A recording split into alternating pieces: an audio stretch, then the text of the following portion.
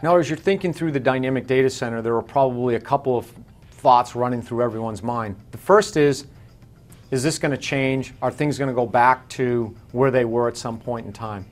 And the answer is, no, they won't. 80% of IT executives say that consumerization is increasing IT workloads. And in fact, a survey that I just saw from Gartner suggested that the only group that has grown over the last three years within an IT organization has been the operations organizations, simply because of the added workload around consumerization.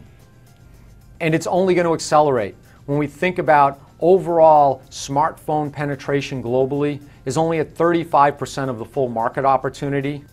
So we're in the position of generating zettabytes and zettabytes of data right now, but we're only about one third through the smartphone transition, and you can just anticipate the sort of transaction volume that's going to occur and the level of pressure that's going to be on IT organizations.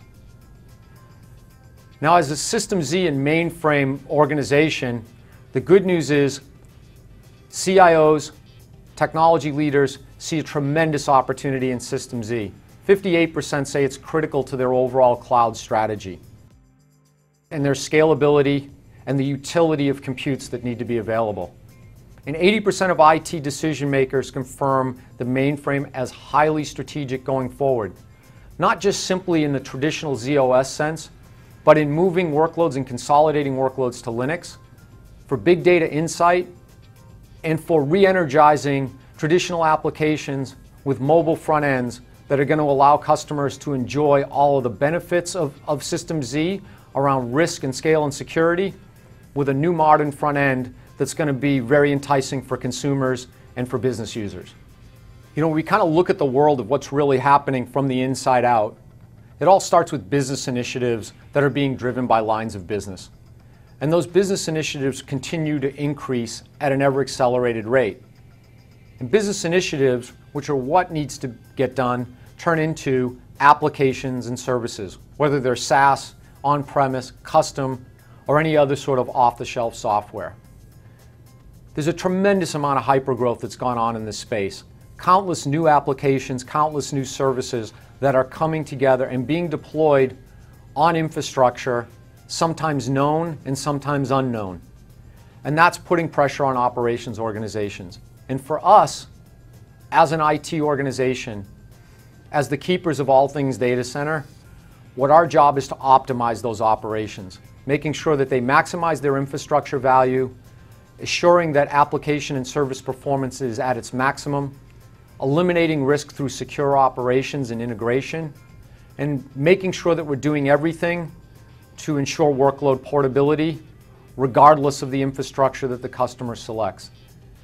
And in fact, where businesses need to get to is simply to be able to specify a quality of service or a service level agreement and then understand that IT acts entirely as a service and that the business doesn't have to really worry about a public cloud versus a private cloud, a System Z versus an x86 blade.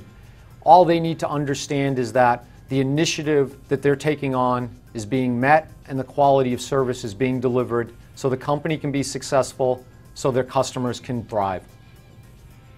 Technologically, the basis for our strategy starts with the System Z. And System Z continues to have an unprecedented, unparalleled track record in reliability, in scalability, and security. And when people talk about clouds and what clouds are all about, it comes down to two things, utility and availability, and it comes down to doing that in a secure, highly performant way. And that's really what cloud's all about. And System Z has been architected traditionally to meet those performance criteria. And now with continued innovation on the platform, there's a new focus on, or an expansive focus in the area of cloud, mobile, and big data. So you can start to see cloud and solutions and services being delivered along three different ways. One is going to be a renewal of existing applications. Two is going to be consolidating workloads in a more cost-effective and more performant manner onto System Z, whether it be on Linux or on the most performant Java platform on the planet. And then last but not least is to be able to be participative and collaborative in composite applications. and making sure that transactions are conducted in a way that allows businesses to gain new business and satisfy their customers. From a mobile perspective, it's going to be a lot of those applications and solutions have to be available through mobile devices. The idea of green screen is fading into the background, and while that will exist at some level, we really need to focus our energy from a Cortez point of view of burning the boats and making sure that everything we do is going to meet that next generation of workers. So mobile's all about where the puck's going and where we need to be to make sure that solutions can be delivered for the next generation. And last but not least is big data. It's going to be over 8 zettabytes of new information that has to be managed, that has to be stored, and has to be secured. The analytics around that create a, a whole set of challenges in and of themselves. And System Z, with a combination of traditional ZOS capabilities and facilities like integrated Linux, are able to solve big data problems in areas like Hadoop or with technologies like Cognos without putting an excessive burden on the rest of the IT infrastructure.